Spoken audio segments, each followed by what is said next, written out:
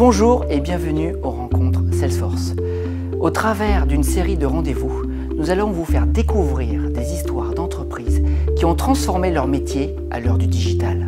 Pour ce premier épisode, nous sommes allés à la rencontre de cas par cas. Gérer les équipes au quotidien, gérer les contrats commerciaux et gérer la satisfaction client, telle est l'ambition des équipes au quotidien de cas par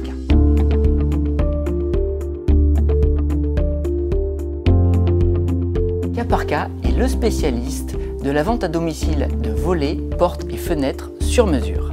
Et aujourd'hui, c'est une entreprise qui a une belle histoire en France, c'est plus de 100 magasins, c'est 20 centres techniques et un centre de relations clients centré sur la satisfaction de ses clients.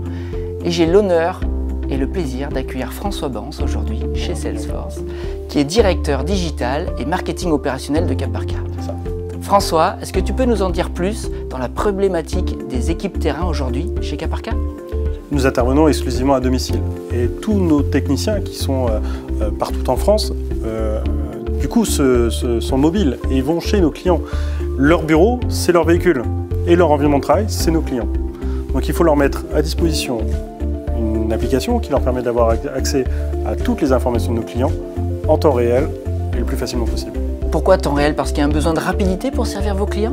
Ah oui, c'est essentiel en fait. On a besoin de partager l'information entre notre service client qui est en relation directe avec nos clients, nos centres techniques qui gèrent euh, l'ensemble de nos techniciens et nos techniciens du coup qui sont chez nos clients. Eh oui, parce que j'imagine que produire des fenêtres sur mesure, c'est quand même compliqué. Oui, c'est un enjeu aujourd'hui et euh, c'est encore euh, un chantier qui est assez anxiogène pour nos clients.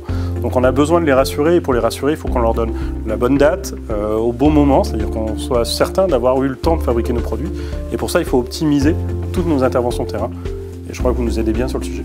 D'accord, ça veut dire que chaque agent, chaque technicien de cas par cas aujourd'hui est capable de vite accéder à l'information, la partager, pouvoir informer le client en temps réel, et ça, ça change la relation avec votre client. Bah déjà, tous les matins, le technicien a sa feuille de route directement sur son portable, qui peut en plus connecter avec son GPS. Donc en plus, il va fiabiliser la route qu'il va prendre, et il va fiabiliser l'heure à laquelle il va réellement intervenir chez le client.